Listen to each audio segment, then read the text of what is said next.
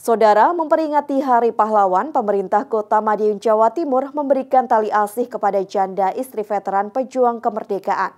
Tali asih diberikan langsung di rumah janda perintis kemerdekaan oleh Wali Kota Madiun.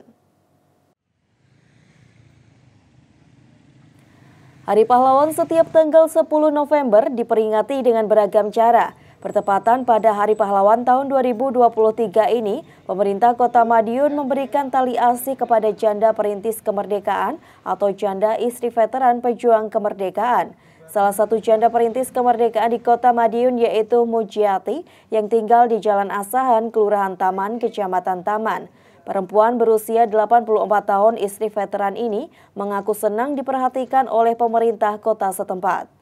Apalagi kini tali asi diberikan secara langsung oleh Wali Kota Madiun. Pemberian tali asi serta bansos berupa uang tunai diserahkan oleh Wali Kota Maidi di rumah yang selama ini menjadi tempat Mujiati menghabiskan masa tuanya bersama dengan anak cucunya. Wali Kota Madiun Maidi mengatakan apa yang dilakukan pemerintah Kota Madiun ini merupakan wujud penghargaan serta penghormatan kepada veteran pejuang kemerdekaan yang telah gugur. Saat ini di Kota Madiun tercatat tinggal satu orang saja janda istri veteran pejuang kemerdekaan. 10 November. Hmm, memang tiap tahunnya tiap rutin ke sini ya. ya Bu ya. ya. Oh, Ibu sendiri harapannya seperti apa Bu? Harapannya seperti apa? Ya, gimana dan Pak Wali itu ya seneng gitu. Seneng ya Bu ya. Diperhatikan gitu ya Bu ya. Tiap tahun.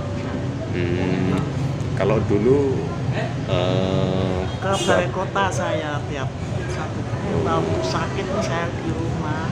Hmm. uh, pensiunan dari perintis. Oh, dari perintis. Ya perintis angkatan darat. Uh, kita itu mengisi perjuangan berkat pahlawan-pahlawan kita karena itu semua yang ditinggalkan ini harus kita manfaatkan, kita optimalkan untuk kehidupan. Kehidupan generasi generasi penerusnya. Khususnya yang gugur yang masih punya anak punya istri kita hargai dan kita hormati.